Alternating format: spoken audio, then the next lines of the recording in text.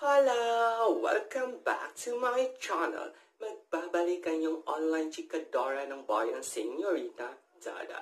So sa mga hindi pa nakasubscribe sa aking channel, please don't forget to subscribe to my YouTube channel and hit the bell button para maging updated kayo lagi sa aking vlog.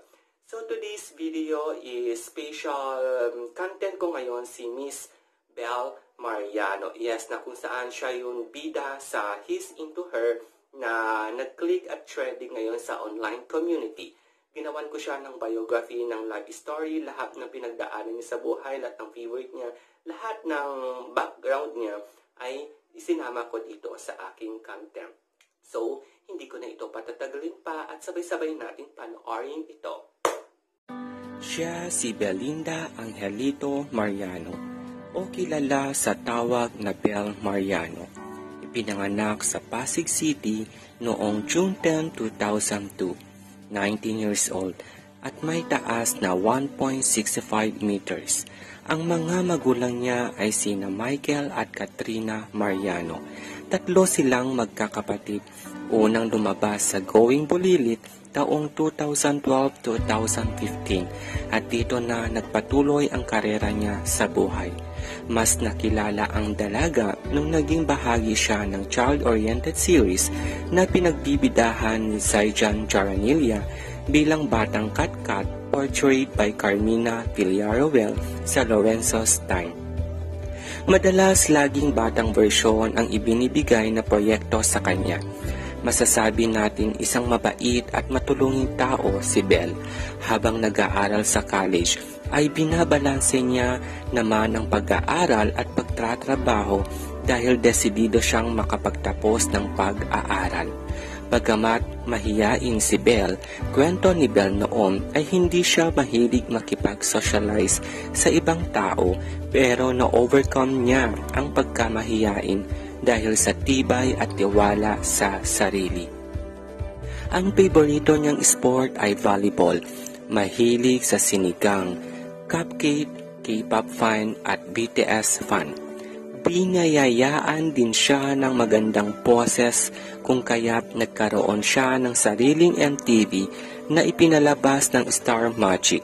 Ang unang big movie role niya ay ang Four Sisters Before the Wedding na kung saan ginampanan niya ang role bilang batang Gabi Salazar na ginampanan ni Shaina Magdayaw.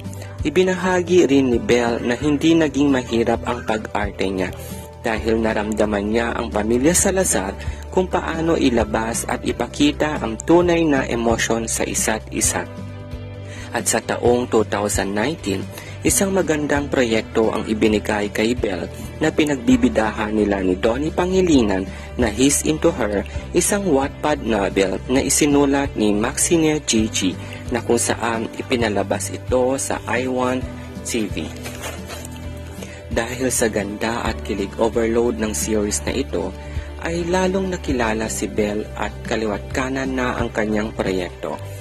Naging mailap man ang roleplay sa kanya noon, ay nagbunga naman ang kanyang karera sa His Into Her. Dito unti-unti nang natatamasa ni Belle ang pag-unlad ng kanyang karir at labis na pasasalamat sa Panginoon ang numero uno niyang sandalan ngayon. Siya si Belle Mariano ang darling star ng Pilipinas. So, ayun na nga. Um, nalaman na natin ang mga pinagdaanan sa buhay ni Miss Belle Soriano at bata pa lang talaga siya ay talagang nagtatrabaho na siya para sa kanyang pamilya. And no worries, no wonder kung bakit natatamasa ngayon ni Miss Belle, Sor- Belle Mariano ang dapat matamasa ngayon dahil deserve na deserve niya ang mabigyan ng ganong kalaking break at para mas lalong mapatunayan at mailabas niya pa ang husay sa kanyang talento, sa kanyang pag-arte. Lalo na yung pag-awits because meron siyang natatagong galing sa pagkanta na kung saan, alam ko karamihan sa inyo is nakita na yun, nakita at nasaksihan nyo ang kanyang boses talaga namang um, good vibes at ang sweet ng kanyang boses at napaka-deserving talaga na mabigyan siya sana ng isa pang album para kay Miss Belle Soriano. At no wonder, bagay na bagay sila ni Donnie Pangilinan. Talaga namang trending ito at viral at patok na patok sa sa masa sa Pilipinas dahil tinanggap naman at sinuportahan ang tambalang Don Pangilinan and Bel Pariano which is John Bell Love Team. Alam ko maraming natutuwa at maraming na excite at na kilig dahil sa ipinibigay na na ipinibigay ng kwento ng kanilang show na saan na ilalabas ito sa iWang TV. Okay, so sa mga hindi pa nakasubaybay kanila Mariano at Donnie Pangilinan, abangan nyo lagi ang kanilang drama series na pinamagatang He's Into Her. Yes, alam kong hindi kayo magsasawa, hindi kayo uh, manghihinayang kung bakit napanood nyo to. It's because full entertainment, full kilig overload ang ibinibigay ng tambalang John Bell at patok na patok talaga ito sa angmang lugar, mapabata man yan, matanda, or uh, middle age, or foreigner kasi um, sikat na rin sila sa ibang bansa. And alam ko, mas dalo nyo pang susubaybayan at bantayan ng araw-araw na kaganapan sa buhay nila Bel Mariano at ni Tony Pangilinan. Anyway, hanggang dito na lang aking vlog. I'm hoping na nag-enjoy kayo at nagustuhan nyo ang video ito. So, any request para sa susunod na content natin ngayon, don't forget to comment para um, gawan natin ng content yun. Gusto nyong ipagawa sa ating iniidolo na sina Donnie Pangilinan at Mariano Bell.